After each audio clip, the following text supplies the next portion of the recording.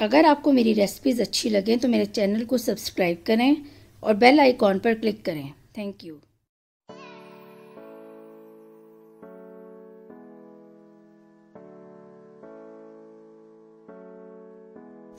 असलकुम मेरी आज की रेसिपी है चॉकलेट मार्बल केक बहुत ही आसान और सादा सी रेसिपी है। इसको बनाने के लिए 125 ग्राम मैदा 125 ग्राम पिसी हुई चीनी 125 ग्राम ऑयल और butter two tablespoon cocoa powder दो अदद अंडे half teaspoon vanilla essence one eighth cup milk one teaspoon baking powder सबसे पहले 125 ग्राम ऑयल को बाउल में डालें और उसमें 125 ग्राम पिसी हुई चीनी डाल के खूब अच्छी तरह फेंटें ताकि वो क्रीम की तरह हो जाए।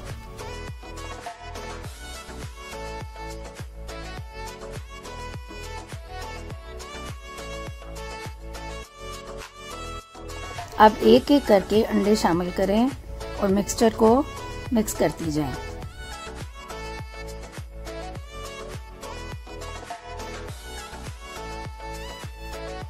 अब बेकिंग पाउडर और मैदे को छान लें और आहिस्ता आहिस्ता इस मिक्सचर में मिलाती जाएँ।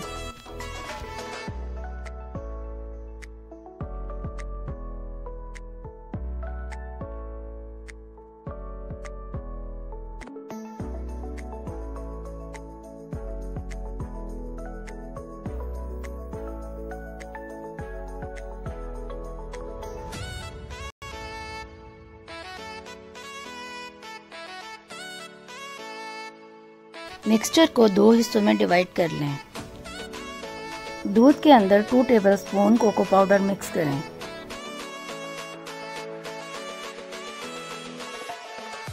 अब कोको पाउडर के मिक्सचर को हाफ़ बैटर के अंदर मिक्स करें।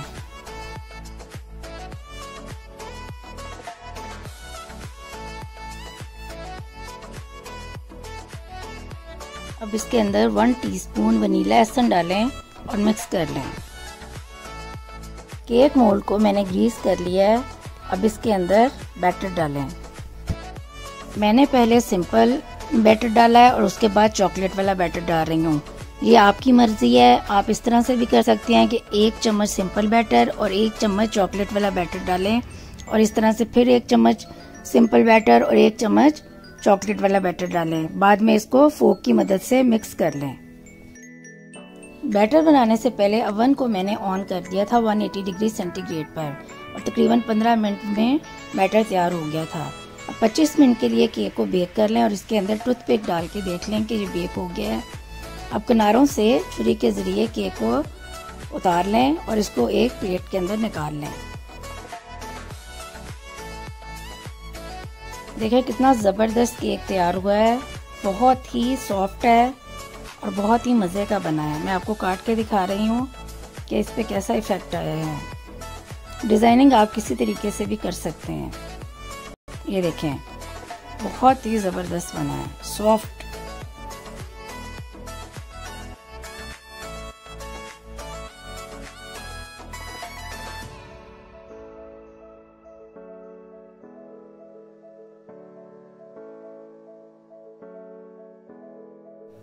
रेसिपी अच्छी लगे तो मेरे चैनल को सब्सक्राइब करें, बेल आइकॉन पर क्लिक करें, शेयर करें, लाइक करें, कमेंट करें।